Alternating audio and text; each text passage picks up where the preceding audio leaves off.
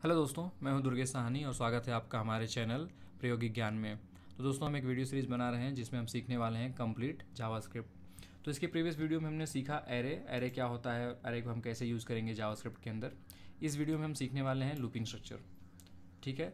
और हमारे पास ऑप्शन है वाइल डू वाइल और फॉर का। तो हम देखेंगे इसको हम कैसे यूज़ करेंगे जावास्क्रिप्ट के अंदर।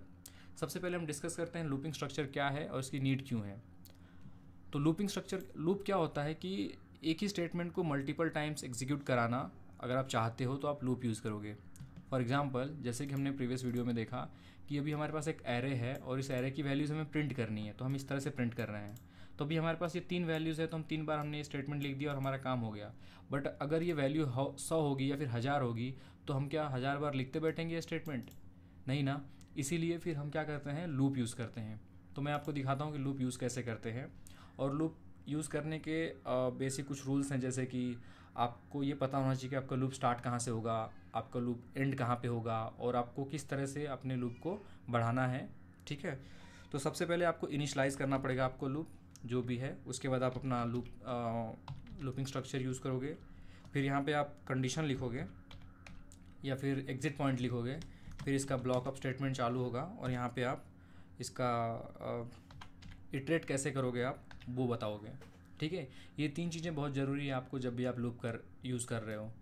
तो जैसे कि मैंने इटरेशन में हमने बता दिया कि एक हम आई वेरिएबल यूज़ कर रहे हैं और इसको हम स्टार्ट करते हैं वन से। तो इनिशलाइजेशन हो गया। हम एक सिंपल एग्जांपल देखते हैं कि एक से दस तक हमको प्रिंट करना है। उसके बाद कंडीशन हम ये लिखेंगे, हमें पता है कि दस तक, ठीक है? तो जब तक आई की वैल्यू ग्यारह से छोटी है, तब तक ये लूप घूमना चाहिए, ठीक है? अब ये वैल्यू यहाँ पे आई है और ये कंडीशन चेक करेगा और यहाँ पे इटरेशन का वे भी हमको बताना पड़ेगा।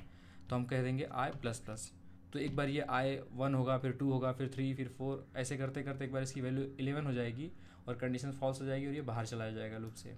ठीक है? और प्रिंट करने के लिए हम यूज़ करते हैं कंसोल डॉट लॉग और यहाँ पे हमने सिंपली आई को प्रिंट किया। ठीक है? अब अगर इस पेज को आप रिफ्रेश करोगे तो आपको यहाँ दिखेगा एक से दस तक ठीक है? बट अगर आप इनमें से एक भी चीज़ भूल जाते हो जैसे कि आप भूल गए आई प्लस प्लस करना तो ये क्या होगा? ये लूप इनफाइनाइट ये जो भी आपकी फ़ाइल है आ, ये इनफाइनाइट लूप में चला जाएगा और ये एग्जीक्यूट होता ही रहेगा। जैसे कि देखिए ये इतने टाइम एग्जीक्यूट हो चुका है ठीक है? और ये इनफाइनाइट लूप में चला गया। तो इसलिए आपको ये तीनों चीज़ें आपके पास होनी बहुत ज़रूरी हैं ठीक है?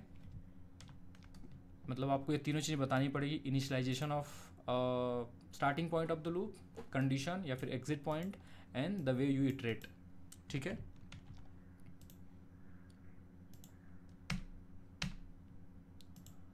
हम एक नया टाइप ओपन कर देते हैं इसको क्लोज कर देते हैं। ठीक है। तो अभी आ, ये हो गया वाइल लूप अगर मान लीजिए आपको टेन टू वन प्रिंट करना है तो आप किस तरह से करोगे? तो आपका स्टार्टिंग पॉइंट हो गया टेन और आपका एग्ज़िट पॉइंट हो जाएगा जब तक इसकी वैल्यू ज़ीरो से बड़ी है। तब तक ये लूप घूमना चाहिए और इस केस में आप इसको क्या करोगे? माइनस माइनस तभी इसकी वैल्यू घटेगी, नहीं तो ये ये कंडीशन कभी रीच नहीं होगी और ये फिर से इनफाइनाइट लूप में चला जाएगा। ठीक है? तो अब अगर आप इस वेब पेज को रिफ़्रेश करोगे तो आपको दिखेगा यहाँ पे रिफ़्रेश करिए ten nine eight seven one ठीक है? तो इस तरह से आप लूप यूज़ कर सकते हो। अगर जैसे कि हमने पुराने फ़ाइल में देखा था, ये एरे है और इसकी वैल्यू अगर आपको प्रिंट करनी है, ठीक है, ये हमारे पास एरे है और इसकी वैल्यू हम प्रिंट कराना चाहते हैं तो हमने जो पिछली बार यूज़ किया था वो इस तरह से वे था हमारा, ठीक है? और अगर आप देखोगे यहाँ पे तो ये सिर्फ़ ज़ीरो वन टू इंडेक्स बढ़ रहा था, ठीक है? तो ये इंडेक्स की जगह पे हम क्या करेंगे? आई यूज़ करेंगे ओके तो ये क्या करेगा? ये हमारा एरे का वैल्यू प्रिंट करेगा बट इस केस में आपको कंडीशन चेंज करनी पड़ेगी और आपको स्टार्टिंग पॉइंट बताना पड़ेगा। तो स्टार्टिंग पॉइंट हमें पता है कि index always start from array index always start from zero आपने ज़ीरो बता दिया। कंडीशन क्या होगी? जब तक आपकी आई की वैल्यू लेस देन है, पिछली बार हमने देखा था कि नम डॉट एक प्रॉपर्टी होती है लेंथ अगर आप ये बताते हो, जब तक इसकी वैल्यू इससे छोटी है, तब तक इसके अंदर जाके ये प्रिंट करो और इसको आप कर दोगे प्लस प्लस ठीक है? चलिए देखते हैं क्या ये प्रिंट करता है हमारी वैल्यू ठीक है? तो इस तरह से आप, अब इसके इसके अंदर आप डजेंट मैटर कितनी वैल्यू है। ठीक है? ऐसी आपके पास बहुत सारी वैल्यूज़ हैं। जितना भी लंबा आपका एरे होगा, कोई फ़र्क नहीं पड़ता, ये उतनी बार वैल्यूज़ को प्रिंट करेगा। ठीक है?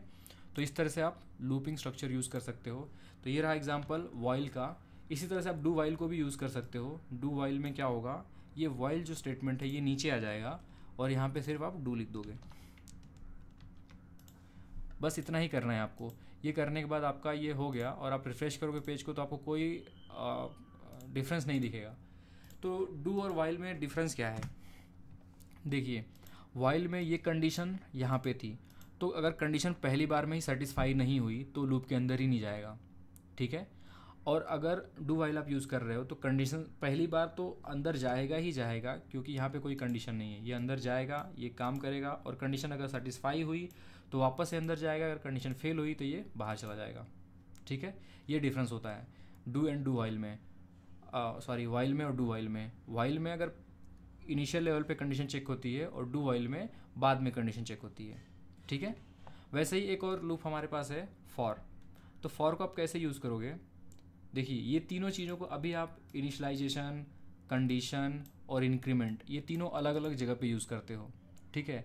फॉर में क्या होता है, ये तीनों जगह को, तीनों चीज़ों को एक जगह पे कंबाइन कर दिया जाता है। अगर मैं एग्जांपल दिखाऊँ आपको तो आप ऐसे लिखोगे फॉर ठीक है? और यहाँ पे ओपनिंग एंड क्लोजिंग पैरेंथेसिस अब यहाँ पे जैसे मैंने बताया, तीन स्टेटमेंट है यहाँ पे, और तीनों को आप कंबाइन कर रहे हो तो मैं इसको कट कर रहा हूँ, या कॉपी कर लेते हैं, ठीक है?